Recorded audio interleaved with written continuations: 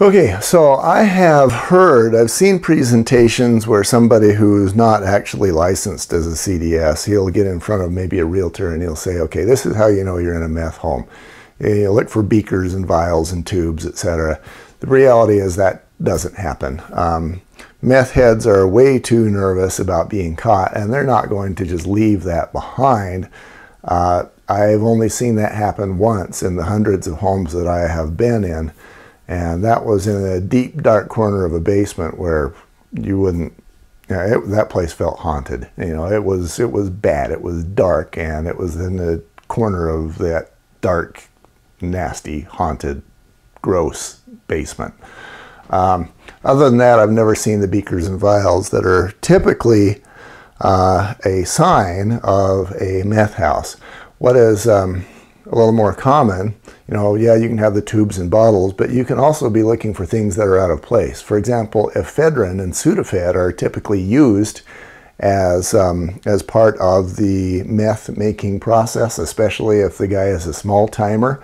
So maybe if you see ephedrine in the, in the kitchen, that's not really a big deal. Or maybe it's in the medicine cabinet, not, not necessarily a big deal. But if it's in an out of the way place like uh, the basement near the bathroom, uh, you know, that, you know, that might be more of an indication. Uh, rat poison, you know, a gun uh, being left out, or if you got Bunsen burners or just things that don't belong. Uh, maybe you see kerosene actually inside the house.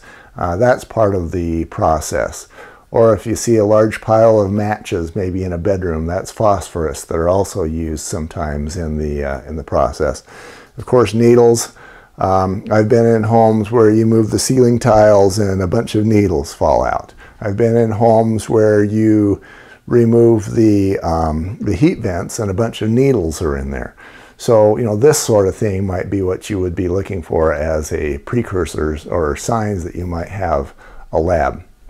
There are materials that will test the home positive for meth, and these are very common ones.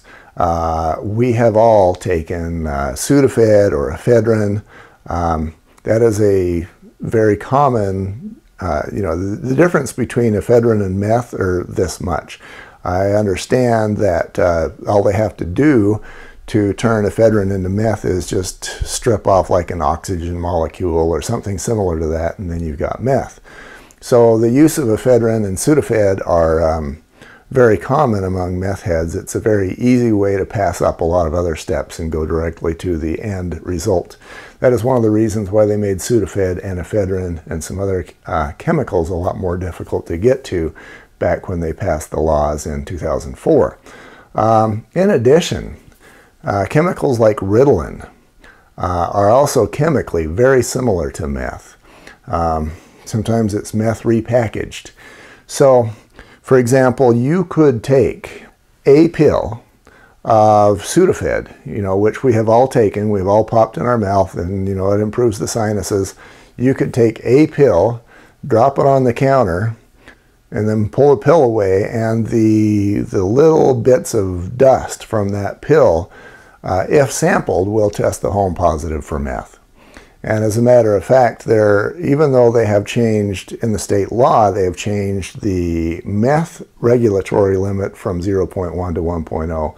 The Sudafed or the ephedrine uh, standard is still 0.1. You could very easily sample a counter where ephedrine, where maybe an ephedrine pill was just placed there and um, you could legally show that that property is contaminated with meth. Uh, just by sampling that location.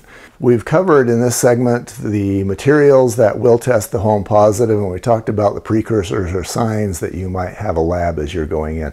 The reality is that you're going to want to pretty much stick with those four potential signs of a lab that we talked about in the earlier segment, um, just because those are far more common. I mean, you and I, we go into homes that are empty or maybe they're not empty, but we're not going to see beakers. Uh, what we might see is the pet urine smell, the messiness, that sort of thing, like we talked about earlier. Okay, next segment, we're going to give you some background and just give you some idea of how other states are dealing with their meth laws, just so that you can understand where Utah is in the spectrum.